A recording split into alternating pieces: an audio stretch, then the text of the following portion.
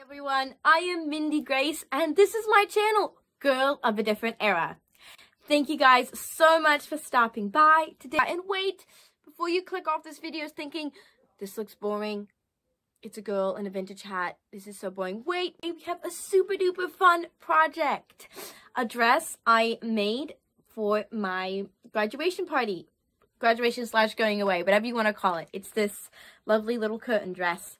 And um, yeah, this was super fun to make and inspired by Sound of Music because who hasn't watched it and fallen in love with those curtain dresses and wanted a Maria to make some for you too, right? Um, it's just so fun, you know, and then the captain's response to dresses, you know what I mean. So I decided I wanted to go with uh, more of a simple look because to be perfectly honest, I'm not rich. Tragedy! And I love thrift flips. And I feel like it's something that a lot of people are drawn to. It's like thrift flips, recycle, you know. And yeah, so I wanted something that I could wear that wasn't going to be too dressy and make other people feel uncomfortable. Something I can play a game of tag in and little, definitely a few things. You know, one thing I was thinking like Austrian dirndl type thing and then like a dress with a vest. And then I came across these curtains and they kind of took over what I was making. Here is just a sneak peek of it and here are some awesome photos.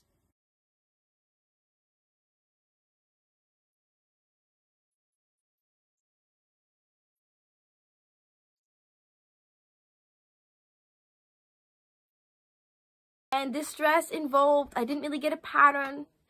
You'll hear me talking about this later on. But just want to say it was like a conglomeration of patterns and self-drafting and everything like that. But if you are interested in knowing how I made it and how maybe you can make one, or just want some inspiration, please stick around because we have a super fun video to the sewing room. And do something besides drink tea out of really, really cute pig mug. I love them. They're like cuter than Percy Blakeney from Scarlet Pimpernel. Okay, fine. I take that back. This is the pattern that I sort of based my bodice off of. And as always, the first step is to make a mock-up. So here I give you guys just a little look at the mock-up that I made, and I will be talking more about this later. After I figured out how exactly I wanted the bodice to fit, I then unpicked the mock-up and used that as my pattern.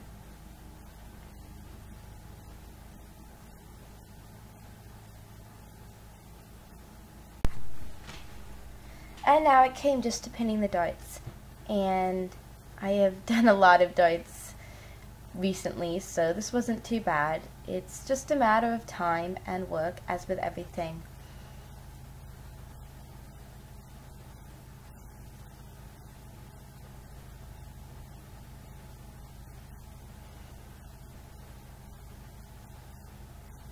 I took them right to the sewing machine and I've said this before, but instead of backstitching at the point of the dart, just sew to the end and then tie it off into a double knot later.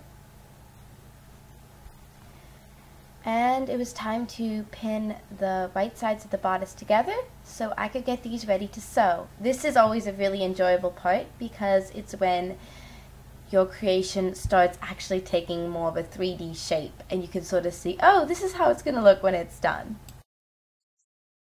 While making the bodice, I ran into a problem. I was making the mock-up and it wasn't fitting because I needed the bust to be two inches smaller and I kept trying to move the darts around and they weren't working. Why?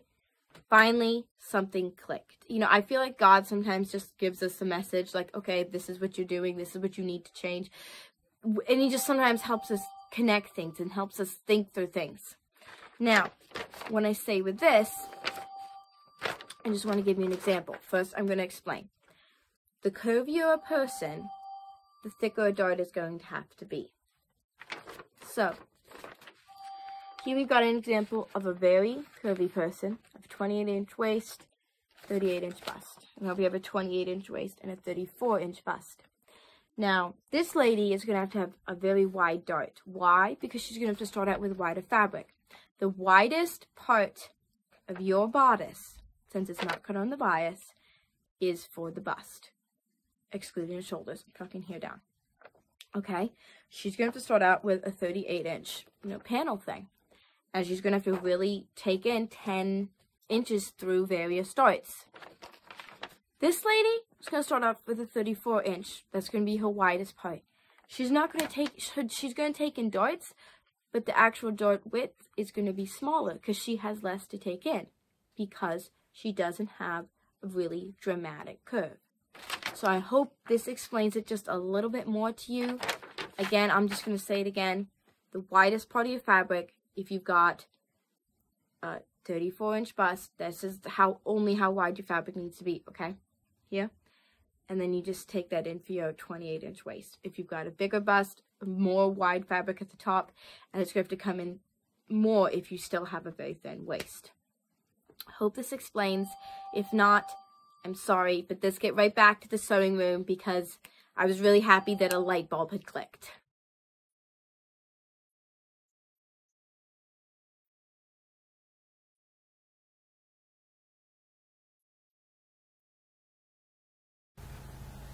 And now it is time to sew that bodice together with a 5 8 seam.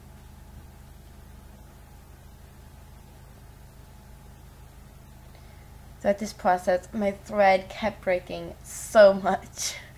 I had to cut out a lot of that type of footage. And now it comes to making the facing. Although I attempted to make this on my own, I decided just to go with the one with the pattern of the bodice I was making.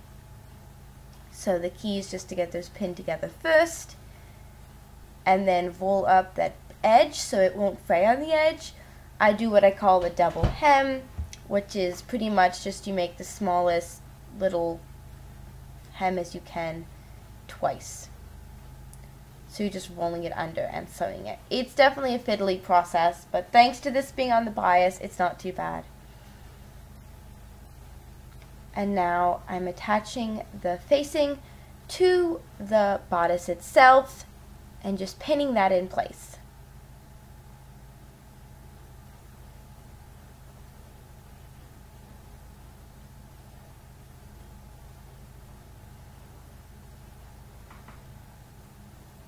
And now I took it to the machine and I'm just sewing that 5 8 inch seam along the edge of that.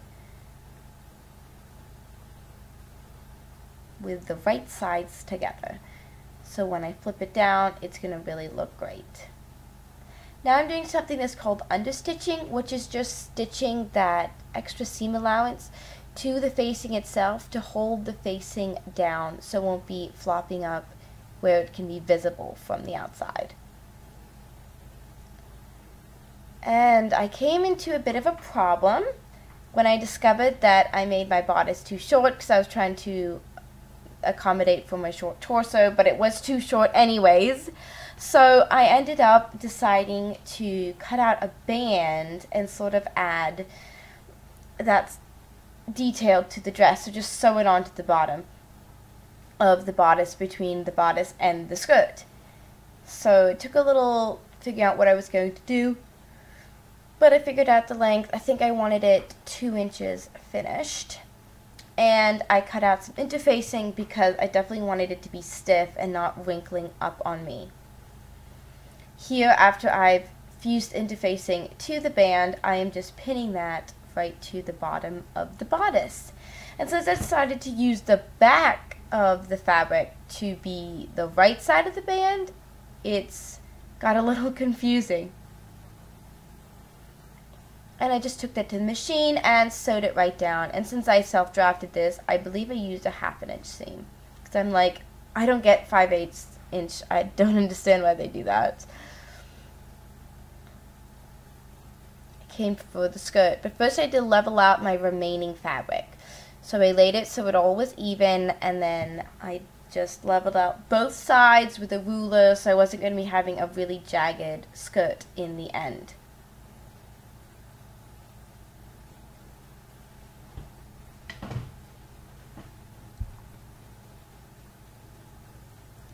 And I am sewing that seam together using the already hemmed portion of the curtain on the edge, just leaving that right on the seam so I don't have to worry about finishing that skirt seam. And now it comes to the two rows of gathering stitches that I'm making on the top of the skirt. I gave it plenty of room from the top because it's such a frayable fabric. And as always, it's just time to gather those and figure out exactly how wide you want it. Here is my first try on after putting the skirt on. I have the zipper pinned in and I was quite excited with how it was looking and yeah.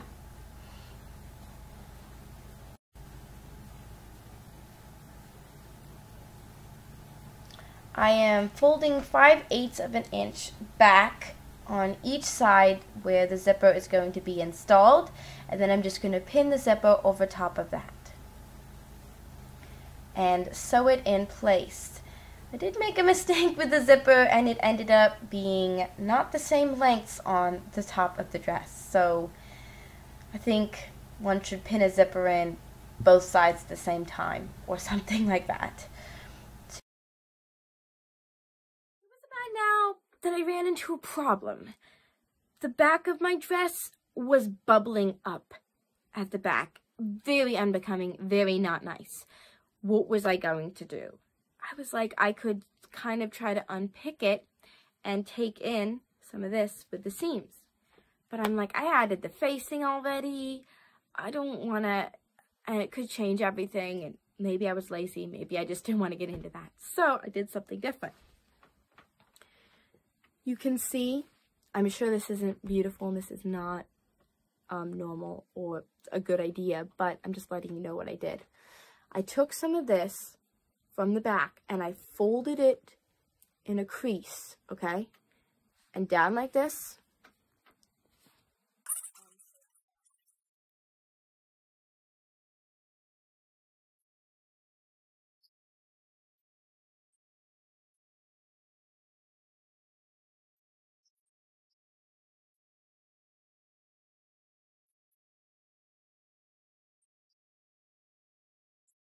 helped. I still do have a little bit of a bubble on the back of my dress. But, you know, I'm just ironing it and I'm not freaking out about it. So, if worse comes to worse, flipping this over, I mean, the bot, the bot, the facing is all wrinkled up inside. But it, it still sits fine. No one's going to know. And it kind of has a cool detail. It almost looks intentional, right? So that's what I did at this point. Then I borrowed the sleeve pattern from another one of my Simplicity patterns, which is meant to have a drawstring on the bottom, but I didn't do that. I pinned two layers together since the fabric was so um, slippery. I wanted it to have more structure. So I just worked with two layers and I just took those to the sewing machines and sewed closest to the edge as I could. Here I am just putting in the gathering stitches for both edges since they have to be gathered to fit the shoulder and gathered to fit the sleeve band. And the lovely process that every costumer hates is installing the sleeves. Why? I don't understand. It's just like the thing no one likes doing. It's so fiddly, but here you get a little bit of footage of me fiddling around with it.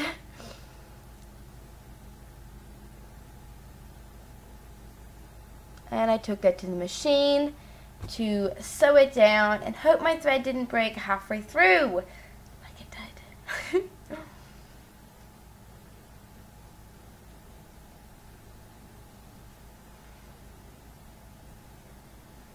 and I had decided I had to unpick some of the stitching right where the seam is open because it was making it pull really weirdly. So I just hand sewed that down leaving sort of the seam in the same shape so it wouldn't pull from the outside. And now I'm just measuring about what my arms width is and I'm making a band for the bodice. Again, this is going to be two layers thick, which means it's going to be four layers because it's going to be folded in half. But I wanted it to have some structure, but not so much that I needed interfacing. And more fiddly footage of me putting the band onto the bodice.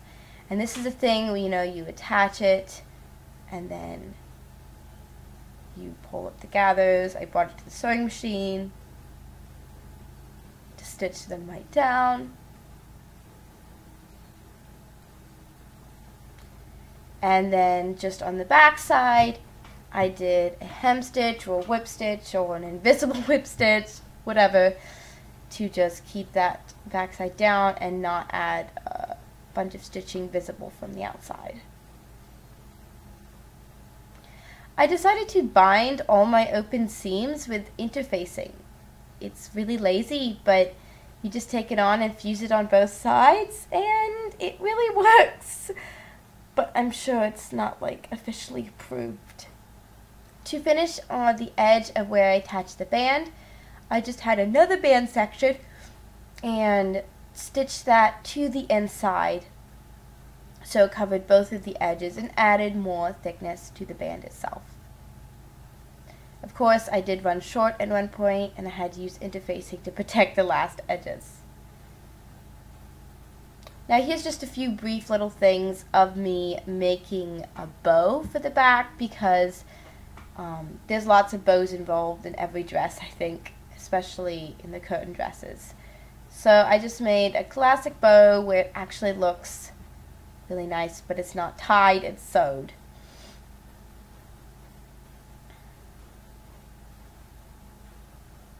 And there it is finished. I even added tails to make it look more realistic, as you can see.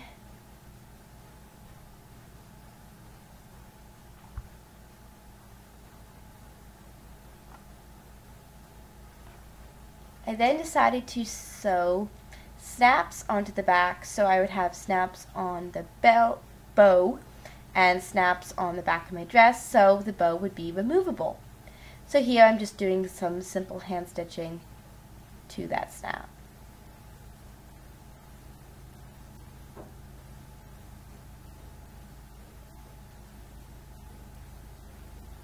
And I am sewing a snap, like I said, on to the dress in two different places. Again, so happy this got a zipper because it's open and it's so much easier to sew this in than if it didn't have a back opening.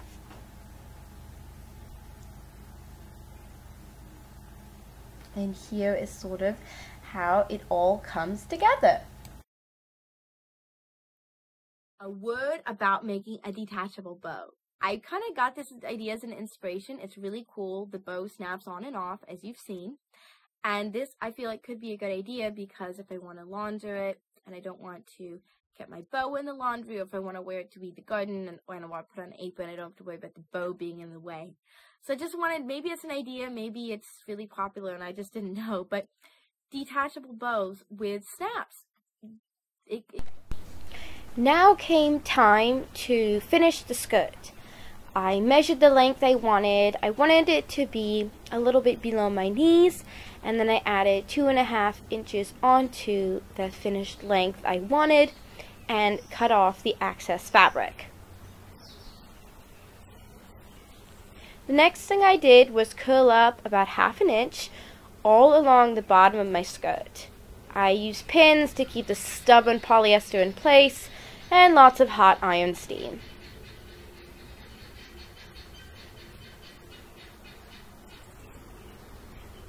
The next step was curling up two inches again so that half an inch that I first curled up is then underneath the two inches.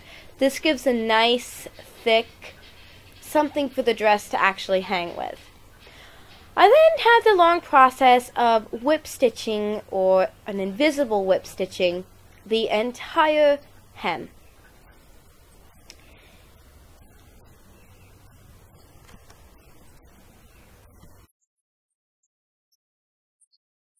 Thank you for sticking around to the end. You made it through! And as a reward to you, and you now get to see lots of photos of me out in the cold, freezing. Don't mind the red hands and red nose and look of coldness on my face.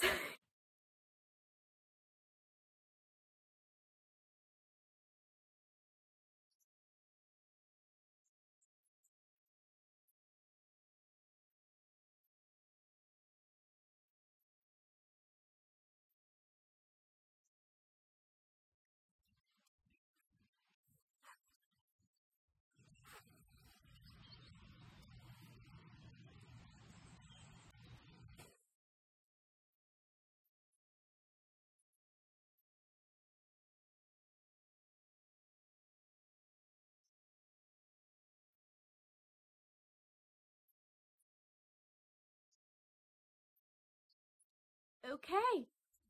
That, I guess, wraps it up. Like I said, thank you for staying around. And I hope, my biggest hope really with these videos is that I might inspire you to go do something.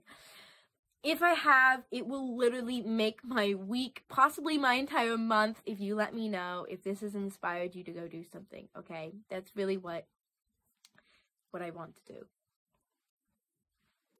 So, um, your presence means a bunch. Give this video a big thumbs up if you like it. And please subscribe because there's nothing like logging into my YouTube and seeing another subscriber. It's a slow process, but I know, I know you're very loyal, okay? I know all of you are. So that means a lot to me to know that I've got some really loyal people watching this. That being said, you've been watching Girl of a Different Era, where we are making our story his story, one creation at a time. Bye. Love you all.